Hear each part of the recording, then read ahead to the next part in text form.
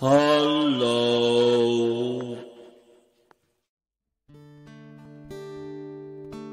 Hi there, I'm John and welcome to Lucky Losers, the channel with content for all. And today, in this video, we're going to have a look at the next series of English Just For You and its conditionals. Conditional sentences are those which use if, unless and when and there are uh, four, five conditionals that are generally in use in the English language. That's the zero, which is always the first, which refers to possibilities and probabilities into the future. The second, which are improbable or impossible. And the third, which we're going to look at today. Uh, I featured the first two uh, the zero with the first and the second in my previous videos so you may want to have to check them out. Oh lucky losers, oh lucky losers. So today it's all about the third conditional and third conditional relates to the past and past events which either happened or didn't happen, but the fact is they cannot be changed and they reflect something, some kind of regret too, um, but not always. Um, the third conditional is constructed in the conditional clause with the if plus the past perfect, which is had or hadn't, and the past participle, which is the third form of the verb. Um, in the results clause, we got the would, wouldn't, have as the past participle. Rather, that's the most difficult aspect. I shouldn't say difficult.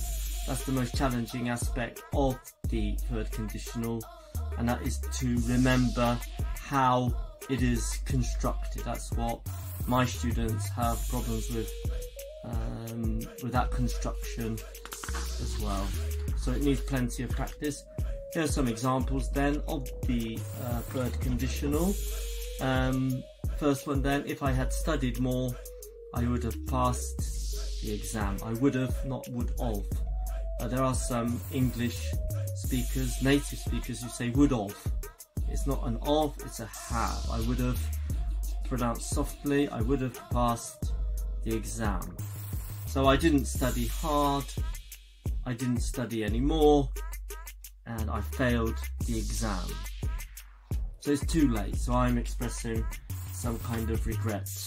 Uh, the second example, I'd have gone there if I had if it hadn't rained, but the fact is, I didn't go there because it rained. So uh, it's an action that I didn't happen that didn't happen because something else stopped it from happening and that means um, it's too late of course to change. Now in the third example we've got a question just to demonstrate how um, to construct it. We can start off with the results clause uh, by the way. I'd have gone there if it hadn't rained. There's no comma after the uh, results clause and before the conditional clause whereas if we start with the conditional and we're writing we need a comma there. So back to the third sentence, would she have taken the job if you had offered it to her? And we don't know because the fact is um, you didn't offer her that job. So it didn't happen. Again, that action didn't happen. So we're only speculating in this case. So those are the examples. Uh, this little diagram uh, just shows us the first example. If I had studied more, I would have passed the exam. Um, it's a it's a regret. I failed the exam. I didn't study. That's the past. Here I didn't study, and now I have some regret looking back. It's too late to change unless I do the exam at some time in the future. So I will know that if I study more, I will pass the exam in future. So that's a possibility using the first conditional, by the way.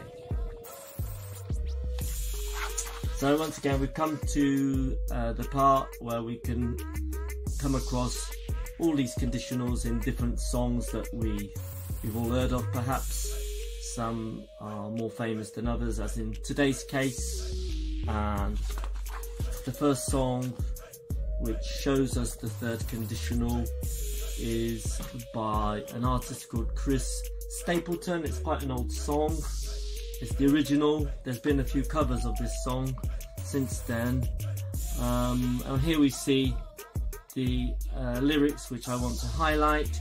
I never would have hitchhiked. Hitchhike means to stop somebody's car and take a lift and go somewhere. You have to stand by the road and hitchhike. So I never would have hitchhiked to Birmingham if I if it hadn't been for love. So in this case he did hitchhike to Birmingham and the reason was uh, because of love. So that's sort of the opposite. There's no regret there. Um, it's the other way round. Something he did because of something else, and, and he's looking back into the past there. So the song goes something I like. I'll, I'll, I'll just try and sort of demonstrate it uh, in my own way. I never would have hitchhiked to Birmingham if it hadn't been for love. So it goes something like that, and here I'll just play a fragment. You can hear it. Never would have hitchhiked to Birmingham if it hadn't been for There you go. Right. I'm not sure if uh, mine sounds like that. I Will Survive by Gloria Gaynor, that's an old hit. Much more famous than uh, the previous one. Um, and in that song she sings, If I had known for just one second, you'd have been back to bother me. In fact, she sings, she'd be back to bother me. Uh, I've added that you'd have been back to bother me. She didn't know, and nobody came to bother her to annoy her, to irritate her. Uh, so, uh, just my little rendition of that. If I had known for just one second you'd have been back to bother me. Something like that. Well, let's hear the Gloria Gaynor part. Part, sorry.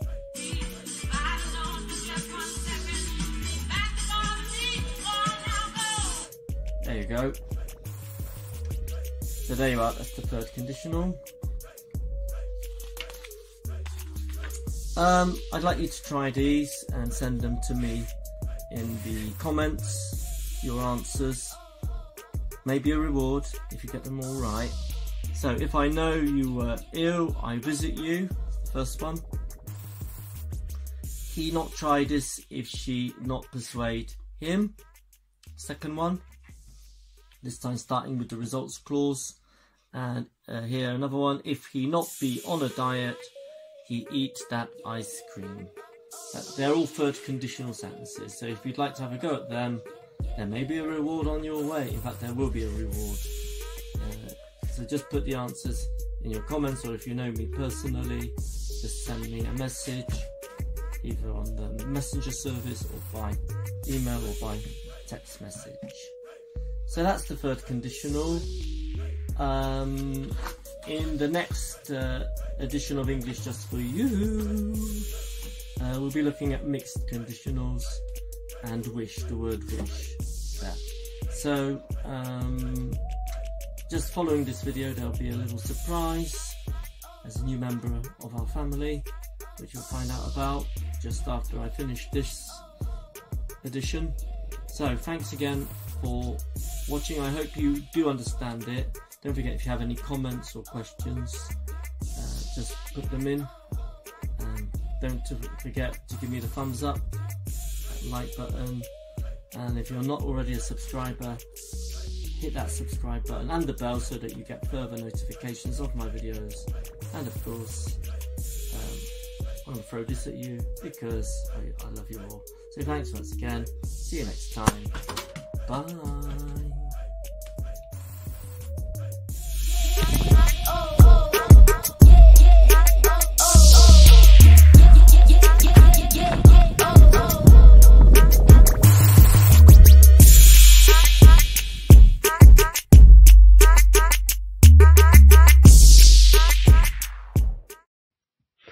And don't forget to subscribe.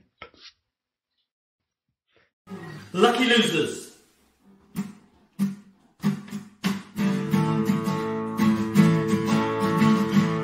Oh lucky losers, oh lucky losers.